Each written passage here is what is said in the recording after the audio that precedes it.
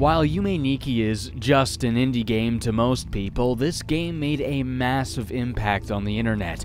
It laid down the foundation of the RPG Maker horror community. It created subcultures influencing tons and tons of people. It was an oddity at launch being made an RPG Maker while not at all being an RPG. At the time, something like that was unheard of. Its aimless gameplay and absolutely surreal characters left an impression that would last a century. There really isn't anything else like it. Or rather, there wasn't anything else like it. Now there's tons of games like it. From the newfound pixel horror community spawned countless fan-made sequels, and I really stress the definition of the word countless as in, I cannot count them all. There's the big ones, Dot Flow and Yume Tuki, but then there's so many more. This isn't even half of them. Seriously, that is 7 pages of 13. And that's just the ones recorded on the Fangames wiki, something around 200 games. And there could be even more unaccounted for. I've already talked about Dot Flow, so why don't we take a look at some of the other Yume Nikki fan games today. Of course, I won't be able to talk about all of them, or even anywhere near all of them, but we can at least take a look at three of them today. That's Lucid Dream with some of the letters missing. This one was developed by a Japanese composer going by the username Koronba. This individual also contributed to the development of Yume Tuki, credited as N3. Like Yume Nikki, you start off in a bedroom. A very small bedroom at that. You've got the Yume Nikki staples already. A bed to access the dream world, a computer to save your game, a balcony, and a game console, which crashed my game when I tried to play it. Probably something to do with locale settings. I didn't bother trying to get it to work. I'll probably live without knowing what the minigame is like. I gotta say, I honestly find the character design a tad lackluster.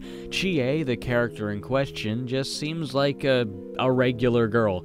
There's nothing really memorable about her to me, like Madotsuki's pigtails and pink windowed sweater, or Sabitsuki's white, messy hair and her rugged muscle shirt. Entering the dream world will bring you to a carbon copy of Yume Nikki's Nexus, though with only 8 doors instead of 12. LCD DEM overall is a fairly smaller game with less areas, smaller areas, and not as many effects. There's only 13, much less than Yume Nikki's 24. Surprisingly enough, the object of the game isn't to collect all of the effects, but rather to find and collect 13 orbs. You'll find each one in an isolated area deep in the dream world, each one having a mural of sorts painted on the wall behind you. They range from planets in the night sky to giant jellyfish. Perhaps Perhaps they represent Chie's memories or something, I don't know. The effects are all just for show. Of course, you've got the variations of the Yume ones, the shoes that make you run faster, the pajamas that bring it back to the Nexus, and of course, the axe that lets you kill NPCs.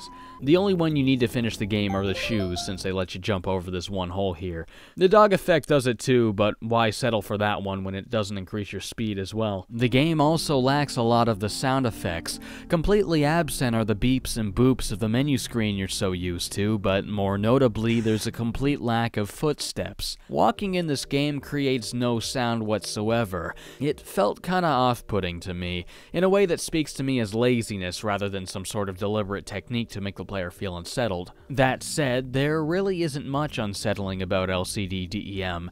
As far as Nikki fan games go, this one is pretty tame. Gone are the chasers, eeriness, and surrealism that Yume Nikki and Dot Flow were so memorable for. Though LCD DEM can't quite resist the urge to at least dip its toes in the bizarre, there's a handful of freakish illustrations which seem a bit out of place in this otherwise tranquil game and not in a good way. Not in a way that catches you off guard, but rather in a way that just seems like it doesn't belong. It'd be like finding a severed head in the middle of Delfino Plaza. It's not weird because it's subtle and unsettling, it's weird because it's something that's blatant and shouldn't be there. The only real example of something horror themed in here is this giant arm riddled with open wounds that unveil eyes peering out of them.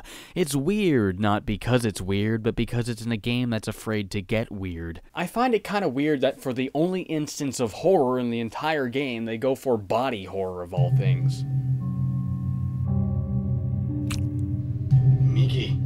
While typically straying away from the outlandish, LCD DEM instead treats us to the more tranquil side of the Yume spectrum.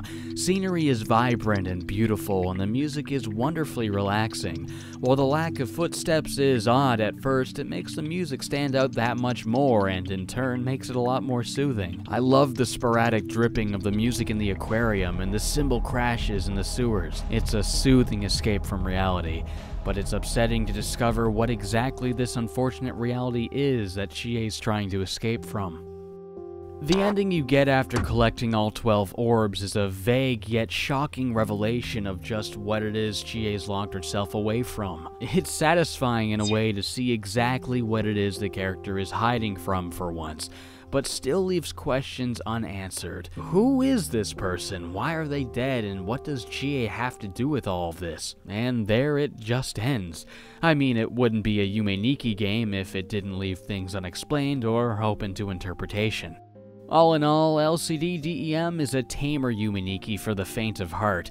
If you're not the kind of person who can tolerate the scares or droning eeriness that Yume Nikki and Dot Flow offer, there's probably a lot to enjoy here for you, though fans of the horror side of the Yume Nikki spectrum probably won't get much out of it aside from the unique ending. Here's another one that I've always been interested in. Yume Nisshi is another fan game developed by Zenmai Gahara.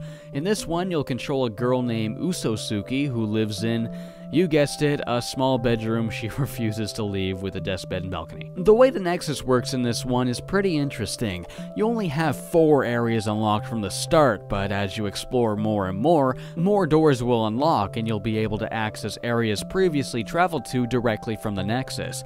For a frame of reference, imagine if in Yume Nikki, after reaching the White Desert, you'd now have a door in the Nexus that would bring you directly there. This helps streamline the gameplay a lot keeping backtracking to previous areas completely minimal. I wish they did this kind of thing in more fan games, but I guess the only reason it works here is because there aren't many areas to begin with. Like LCD DEM, Yume Nisshi isn't that big a game. The reasoning this time is that it's vastly unfinished. After publishing version 0.02, the game's creator discovered that an American fan had stolen some of Yume Nisshi's assets to use in their own fan game. This really pissed the guy off. Each upcoming version, he'd block access to it with a password, the answer to version 0.04 being riddled with xenophobia. It wasn't long before the dude just straight up stopped working on it. I don't know whether it was out of spite or rage or what, but it's a damn shame because Yume Nisshi has a lot of potential. Unlike LCD DEM, Yume Nisshi is pretty dang scary. Take Fallus, for example. If you kill this girl here, it'll trigger an event upon entering his room. He'll begin to chase after you, and during your escape, you'll notice that the hallways are now clogged with mourning children garbed in rancid rags. And Fallus gives chase. Unlike most characters in other games, he'll actually follow you outside the room, breaking a long established rule to catch the player off guard. And don't even get me started on this thing the Iron Maiden, nicknamed Derek by fans. I don't know where that name came from, but when you walk up to this thing. Uh-uh, I ain't doing that. Uh-uh. After activating it, so long as you're still in the area, it can fly on screen at any moment and get ya.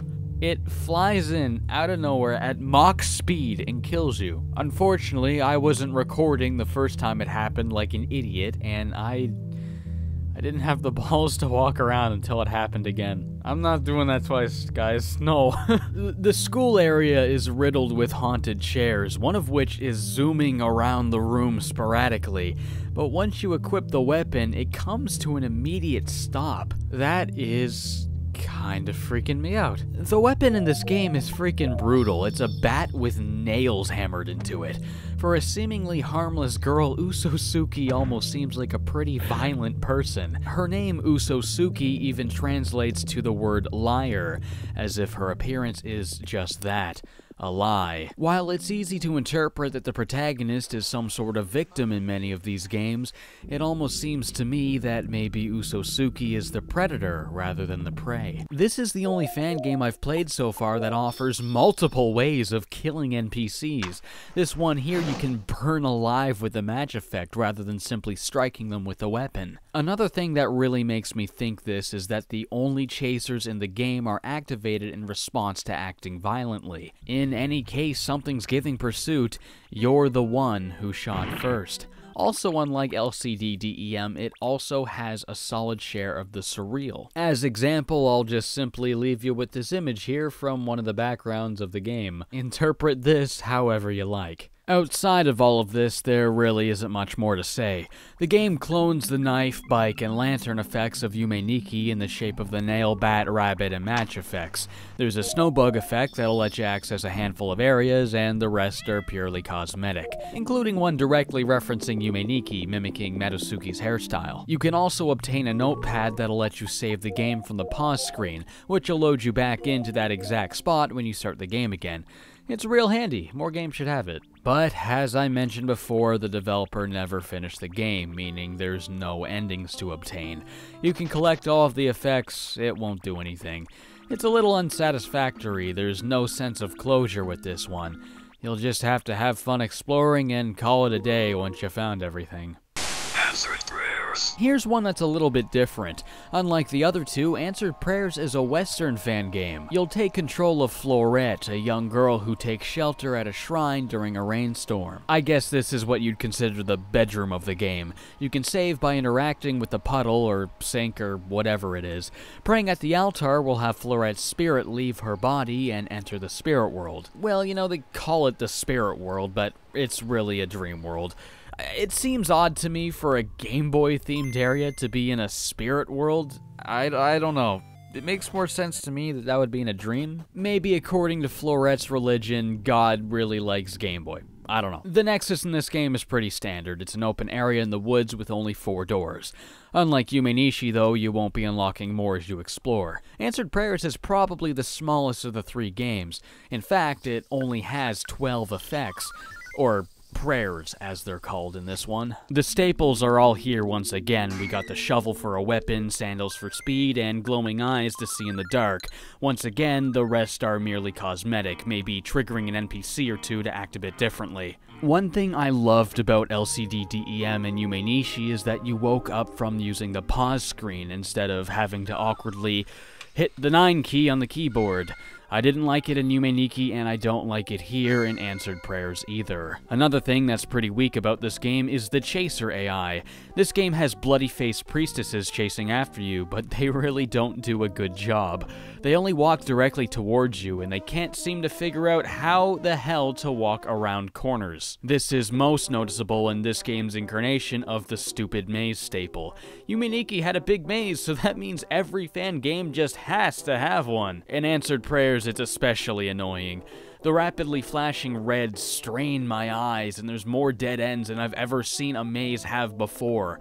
It's bad, and I hate it. There also isn't anything scary in this one. I don't even know if I could call it an RPG Maker horror game. Blood is kept to an absolute minimum, you'll only really see it on the chasers and when you attack NPCs.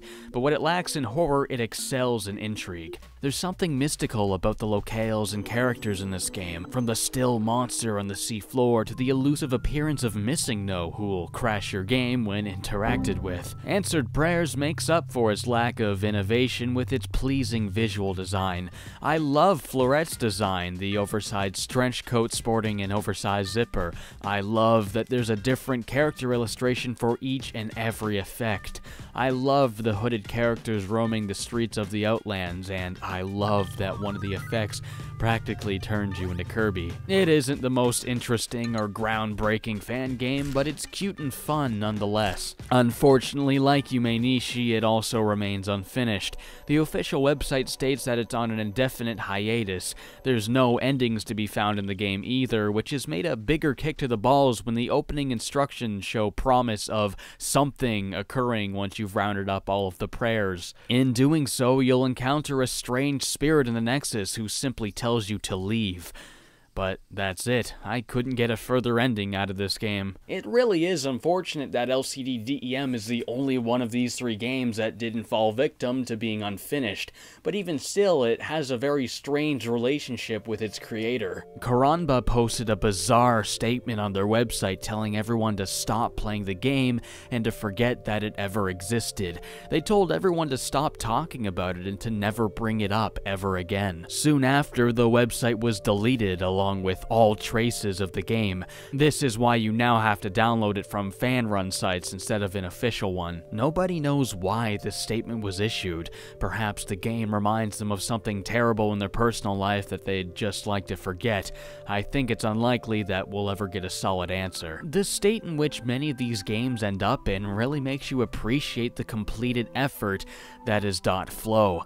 Not only is that game done, and I mean finished, with multiple endings, a tied up plot, everything you need, but the creator LOL continues to update the game to this very day, adding extra areas, events, and characters. Seeing games abandoned due to lack of motivation, pure spite, or reasons totally unknown, it makes you realize just how much a trooper LOL is.